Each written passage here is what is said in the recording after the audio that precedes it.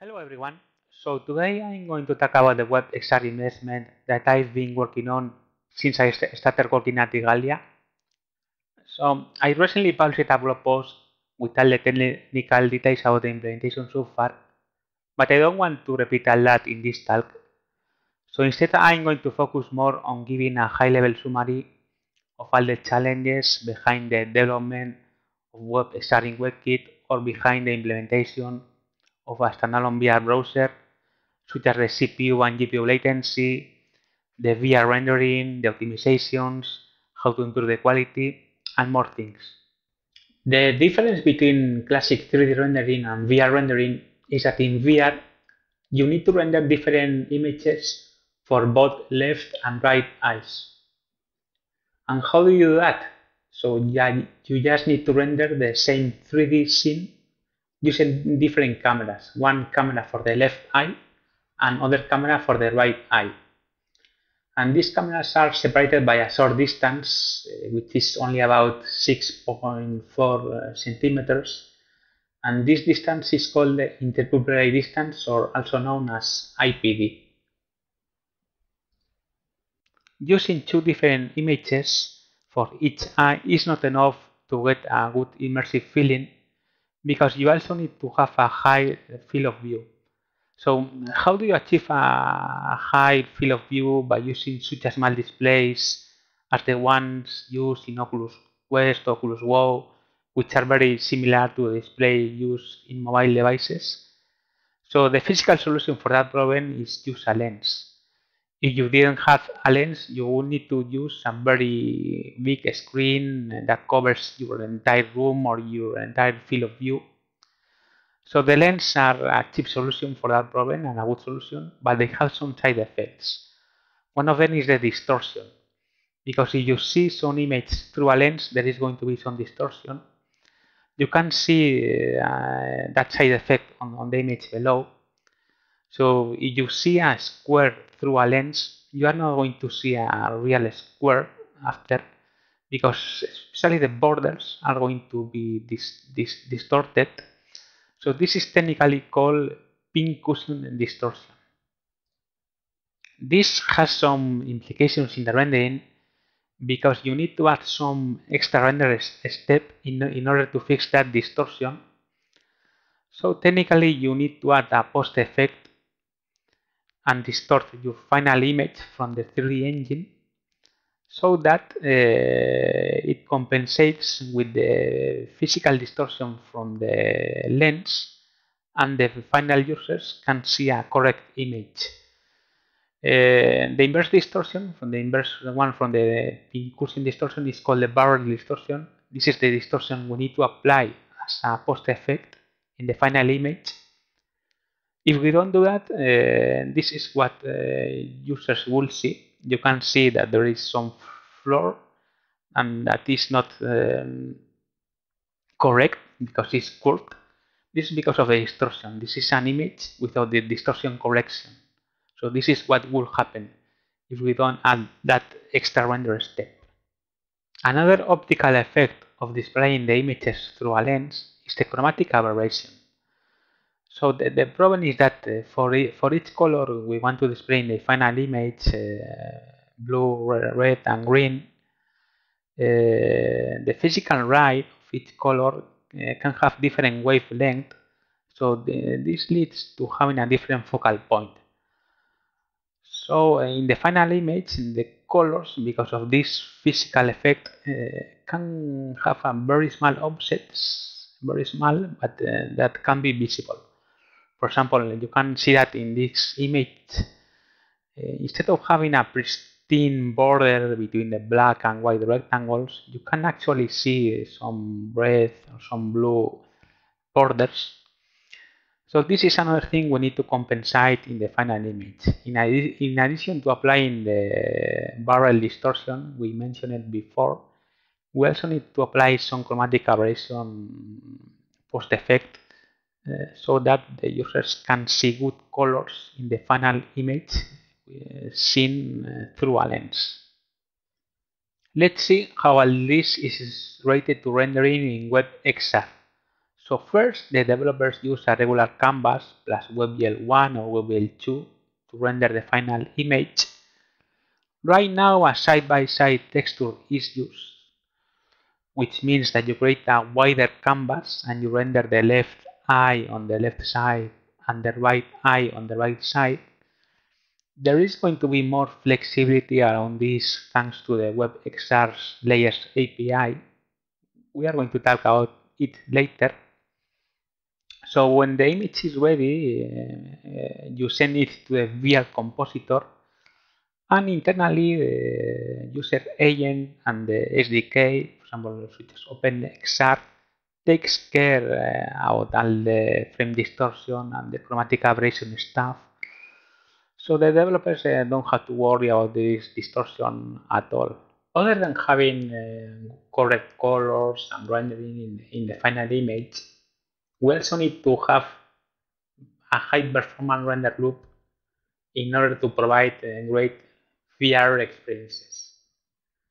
Right now, I mean, uh, there are devices uh, with has a frame rate of uh, 90 frames per second, 72 frames per second, even 120 frames per second. Uh, so instead of having the classical frame 10 on 16 milliseconds, we, we actually have less time, uh, for example, 11 milliseconds or even even less. And on each frame, we need to do a lot of different things. Uh, for example, we need to run uh, query or read the pose from the device. We need to use that information to apply the frame updates in our 3D engine we need to render the final display, we need to apply the post effect uh, with the chromatic aberration and distortion correction. We need to send the display, the pixels to the final display, which also has some latency. Uh, and this uh, process is, which is called a motion to photon, all the process between rendering, uh, reading the input from the devices until the photons reach the eye from, from the real uh, users. So we need to do this in a performance way because if we fail to do in the frame budget, uh, we can actually cause some motion sickness or nauseas to the final users. We don't want that. Okay, so we are going to see how to optimize this uh, render loop in order to get the best motion to photon latency possible. In this picture, you can see the classical rendering pipeline of 3D engine or engines such as Unity or, or others, 3ds.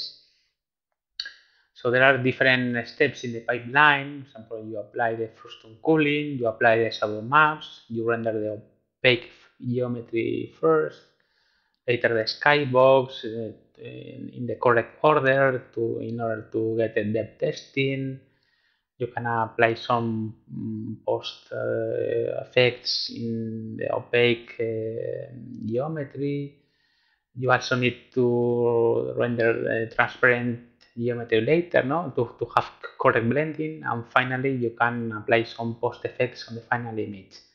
So how do we adapt this for VR? One uh, of the first solutions to adapt your pipeline to VR is apply the multi-camera approach.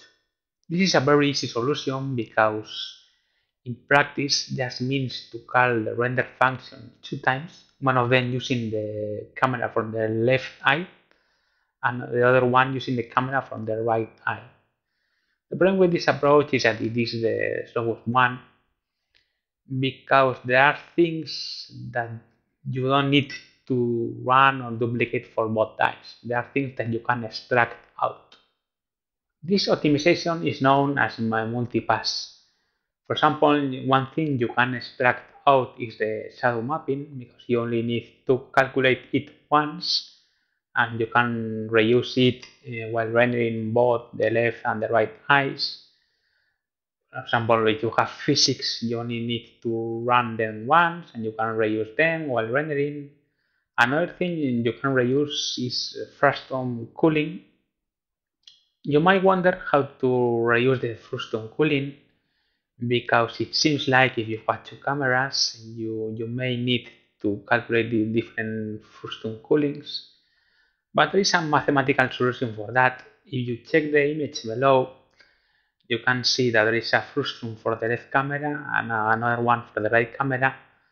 But if you place uh, you place a point uh, behind both, you can uh, create a frustum that combines both.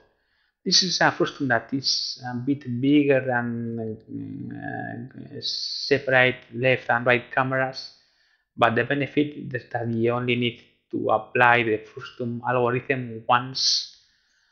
So it's a very good way to save frame time.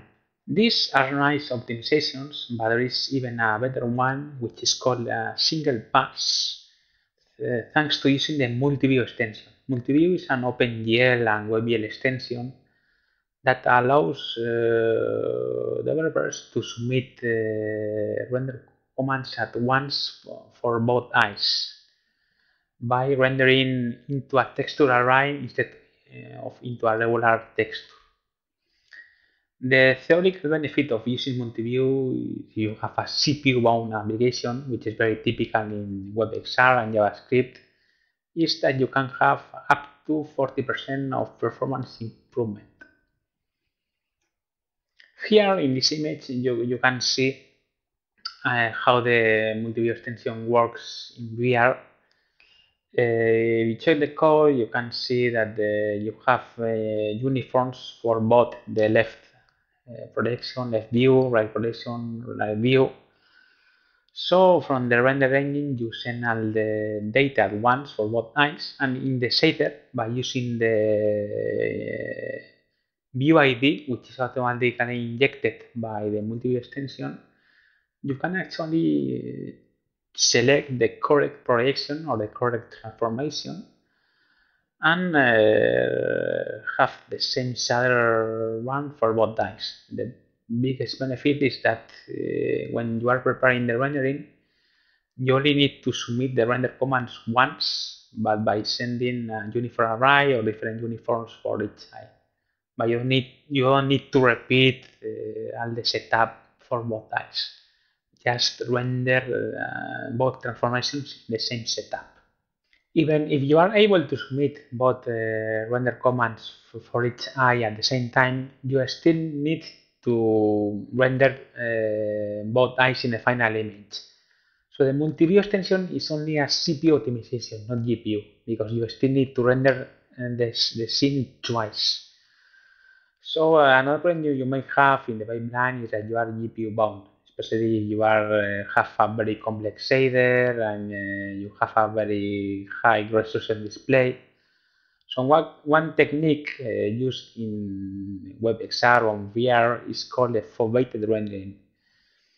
This is based on how the eye works because the fovea is a part of the retina of the eye and this is the part of the, uh, the eye where the light rays are focused so when you see something using your eyes and you, you have a more pristine vision on the center of the eye than on the edges.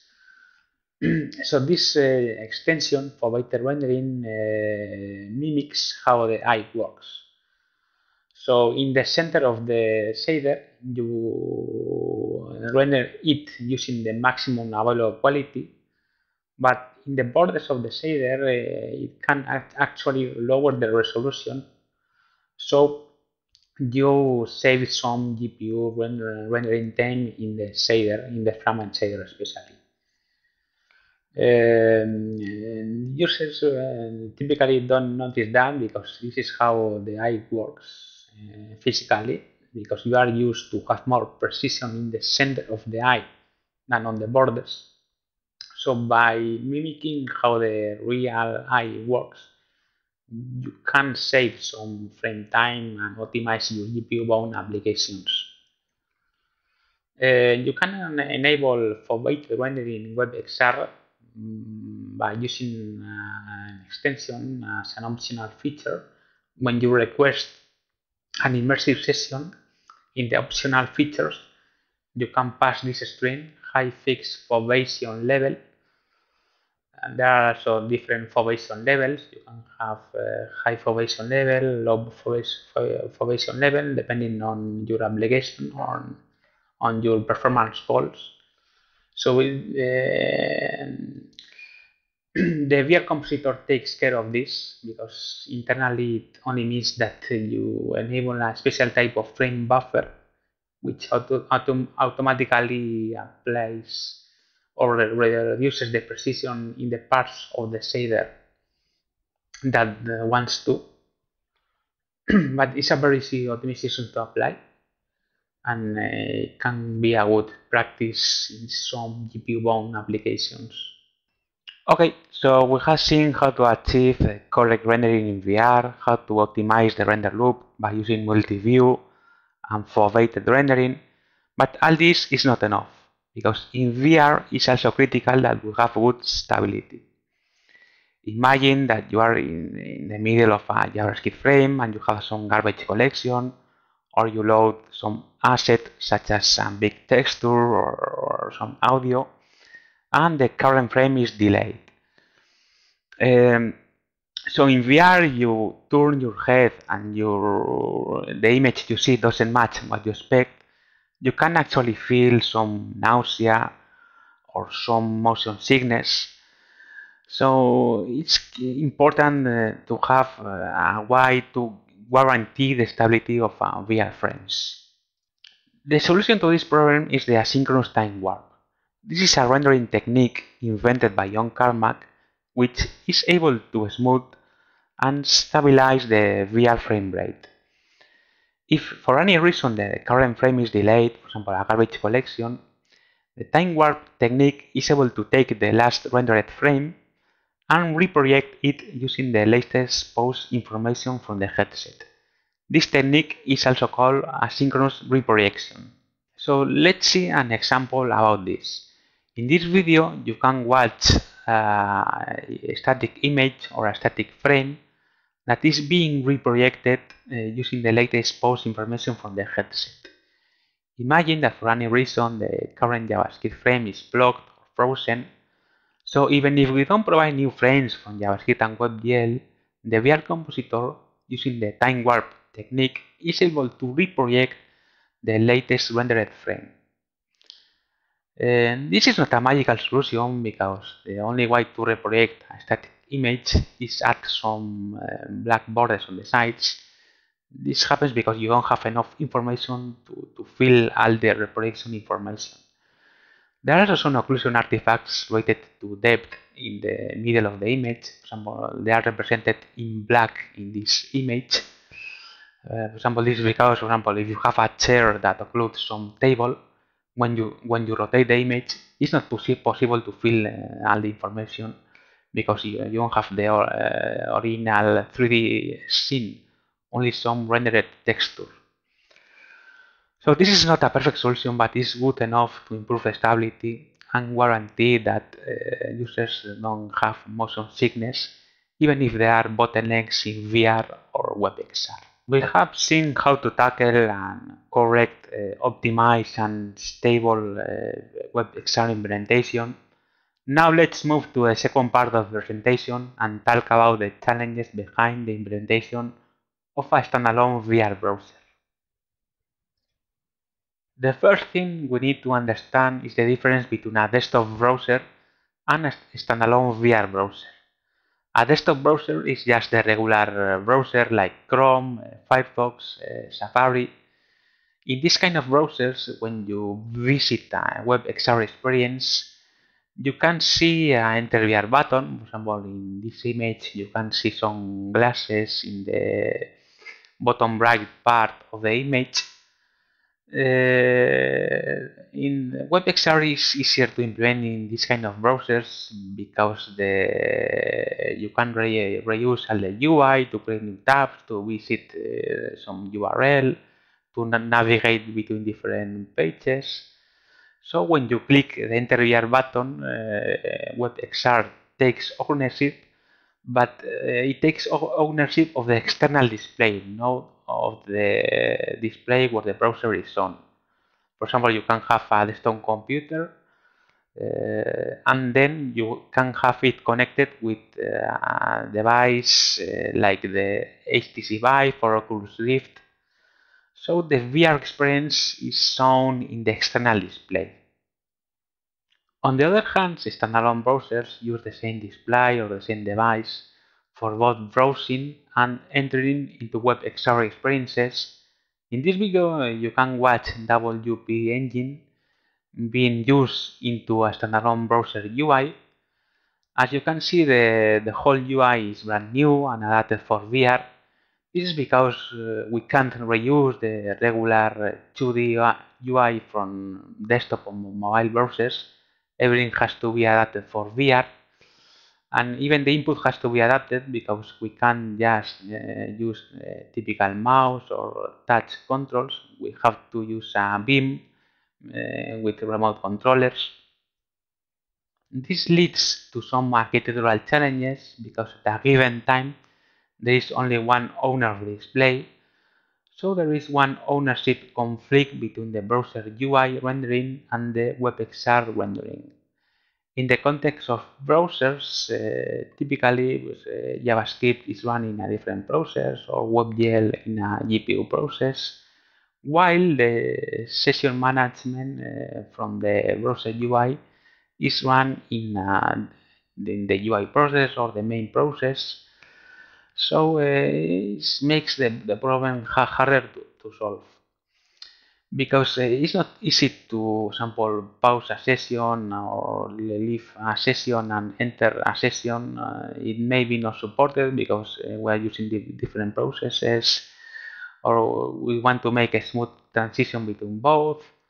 We may also want to show some dashboard on top of a WebXR scene uh, to, in order to support link traversal or just to prompt the users if they want to exit the WebXR experience. One solution to this problem is to create a single VR render process.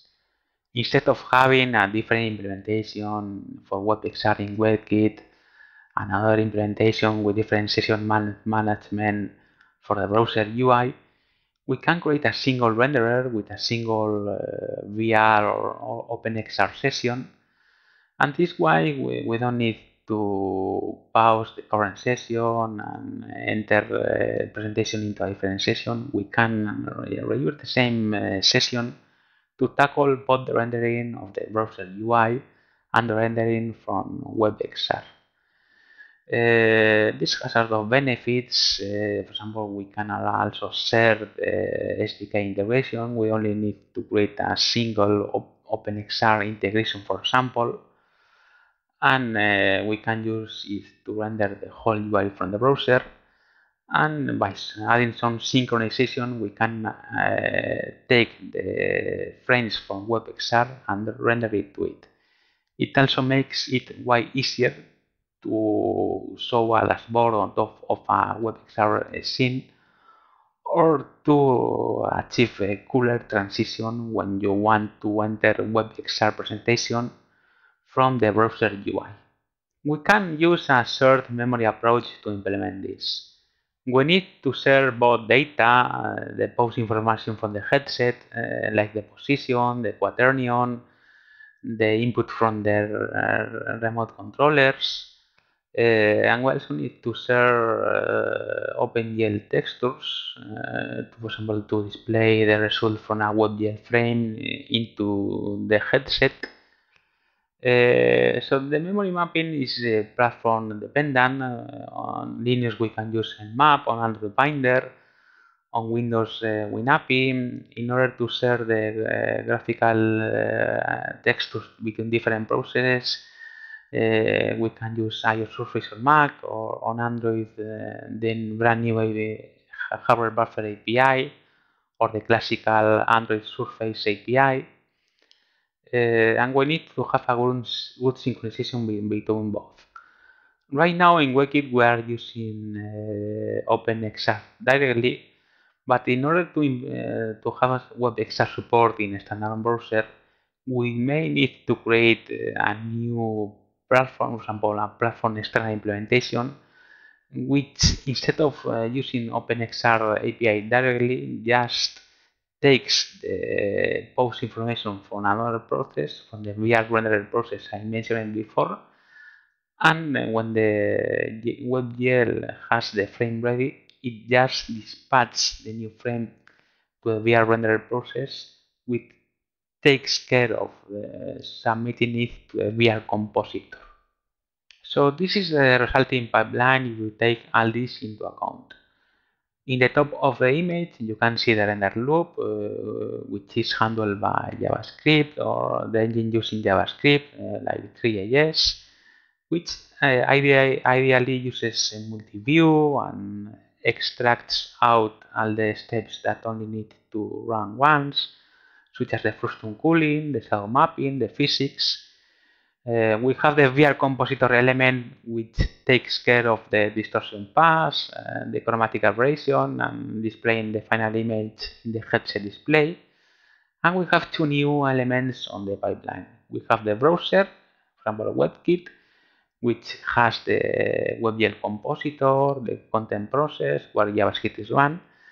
And we have another uh, element in the pipeline, which is the main application, uh, which is the main uh, part which uh, renders the, all the browser UI and synchronizes everything, handles the OpenXR session management, and communicates with WebKit in order to receive frames from the WebXR presentation or just to show a WP window and uh, do the usual navigation. This is a pretty complete pipeline, but there are still some quality issues related to texture sampling. Let's see that better with an example. Imagine that you want to render a Netflix uh, VR scene, you want to render a video on a 3D TV on a VR scene, and the original quality from the video is 2K or 4K. One of the problems is that uh, the main eye buffer size, which means the main uh, scene that you dispatch to the VR compositor, is tied to the resolution of the device. And there are some devices, such as the Oculus Go, which has small resolution, for example, only 124 pixels uh, height and width, so if you want to render uh, a 4K video that takes half of, this uh, frame buffer, it uh, results in only 512 pixel zones rendered in, in, in the frame buffer. And this is where the problem lies, because uh, after we send the final image, we need to apply the distortion pass, and the distortion pass in this example is only able to play with the 512 pixels of the video instead of using the original high quality 4K texture. And the distortion pass needs to read uh, lot of pixels, needs to apply some sub-pixel precision.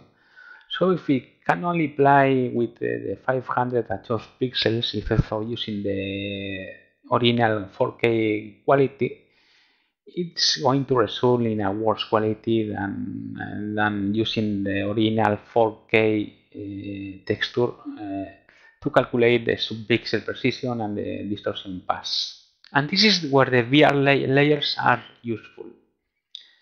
The main difference is that instead of rendering everything in a frame buffer, you can split some elements from the whole VR scene into layers. So basically you, you tell the compositor, hey Oculus uh, compositor, uh, render a quad here using this texture, or render a cylinder here using this texture, or render a skybox here.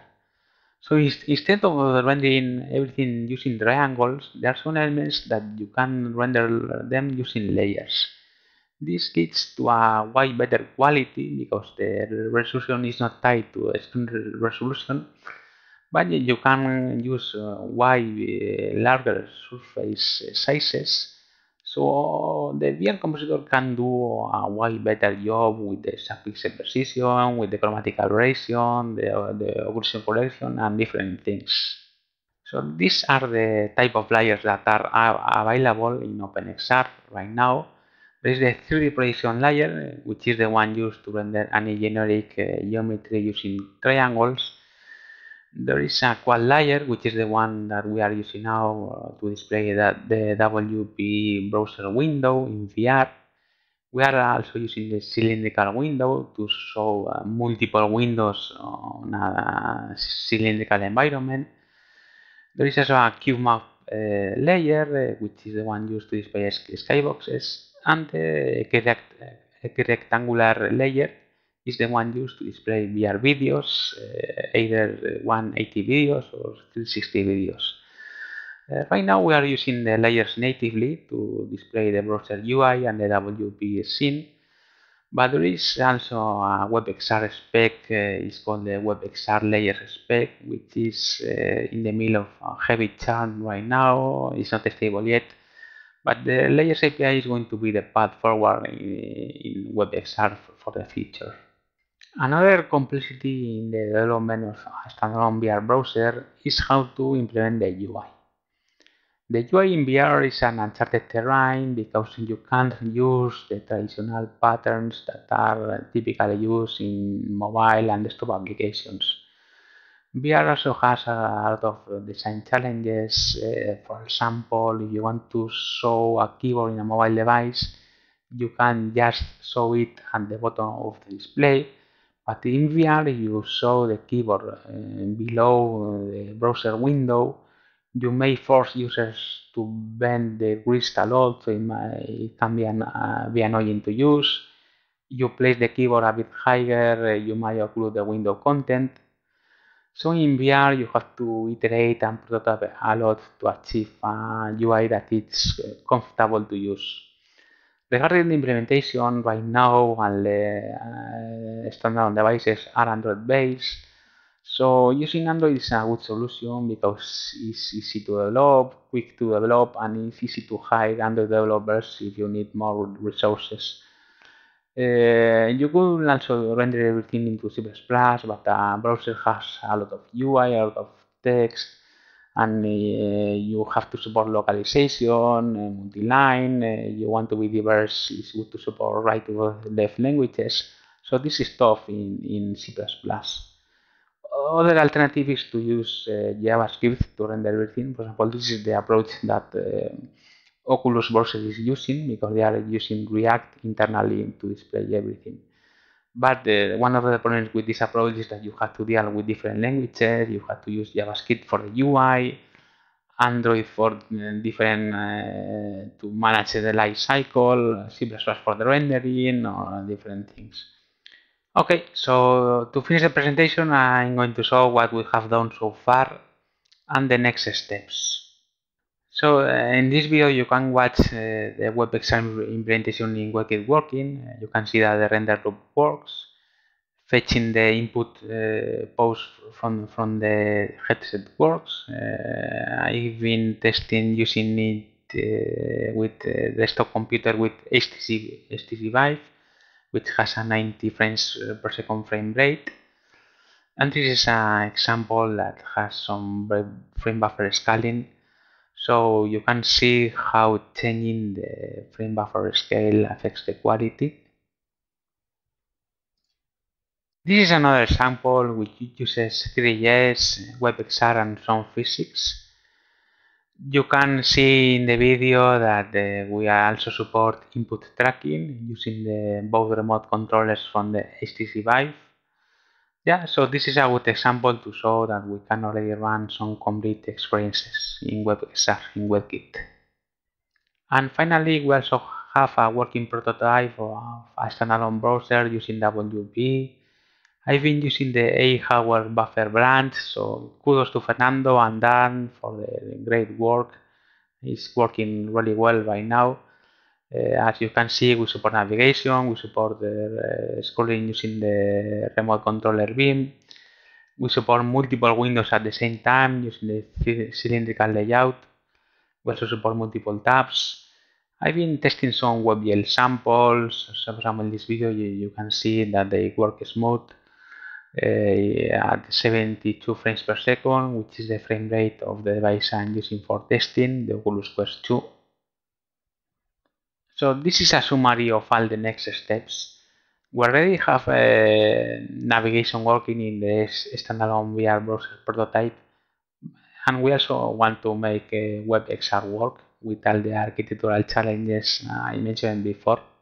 The plan is to use the AHardwareBuffer surface sharing uh, between WebKit or WPE and the standalone browser in order to have a good performance and good stability. After that ready, I want to write a new blog post, blog post showing the progress in order to make uh, a bit more noise in the community. Work in, in browsers and WebXR. For example, the WebXR layers spec, which is going to be very important.